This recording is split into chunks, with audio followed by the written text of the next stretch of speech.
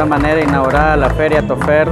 Camuapa 2020. Vamos a conversar con Álvaro, ¿verdad? Quien eh, la tarde, el día de hoy, está presente en esta apertura de Atofer Camuapa 2020. Estamos para Radio Camuapa, buenas tardes. ¿Qué te ha parecido esta feria en este año 2020? Sí, mira, yo creo que a pesar de todos los problemas que hemos tenido, de la crisis sociopolítica, socioeconómica que Nicaragua ha tenido, el llegar y ver esta feria llena de comercios, de expositores, de gente, eh, pues yo creo que te llena de esperanza. Pues yo creo que, y es por eso que Camuapa, y lo dije en la inauguración, que Camuapa ha sido un ejemplo en todos los sectores ganaderos, porque nunca se rinde, pues siempre está dispuesto a trabajar, a poner todo de su parte para poder garantizar el trabajo, la seguridad alimentaria, como lo decía Max también en la inauguración, de poder trabajar. Y eso es por eso que Camuapa es de los municipios que más desarrollo ha tenido, siendo un, municipio meramente ganadero.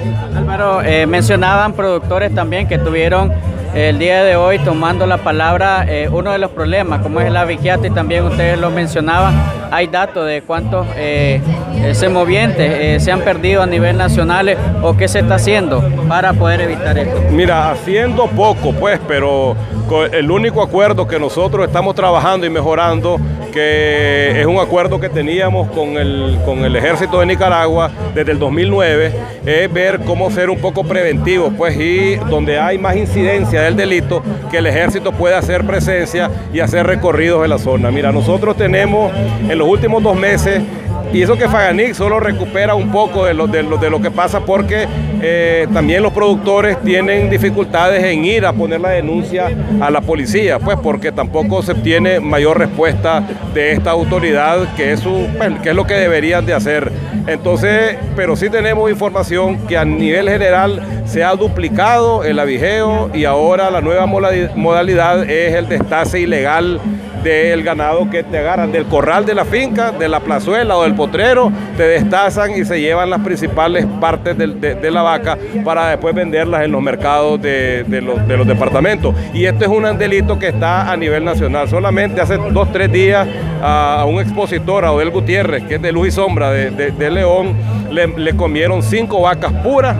preñadas de vacas puras en en la plazuela de la finca ahí, en el, ahí por Valpaisillo, León. Entonces, este delito, como lo dije en la, ahí eh, en, la inauguración, viene a frenar el desarrollo de la, de la finca ganadera, ya con todas las dificultades que vos escuchaste ahí que tenemos, pues que no vale la pena repetirla, pero sí hay que ponerle ojo, porque lo único y lo único que puede tener a un productor ganadero de trabajar es la seguridad personal y la seguridad de poder ir a la finca sin que seas asaltado, seas secuestrado y que no te maten tus animales o no te los roben.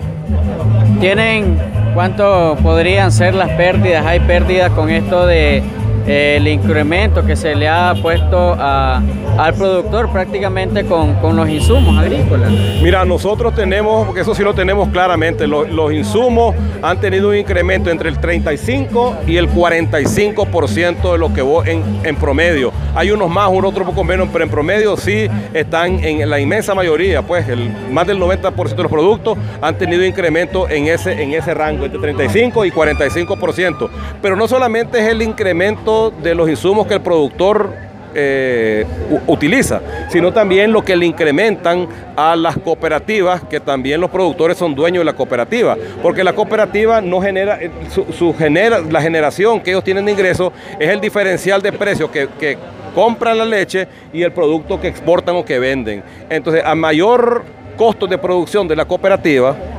menor precio que se le paga al productor. Entonces aquí la ganadería está en una crisis bastante grande, pero a pesar de eso vemos y felicitamos a la Asociación de Ganaderos de Camoapa y al municipio de Camoapa por lograr en esta, con estas dificultades, tener esta feria, inaugurar esta feria el día de hoy.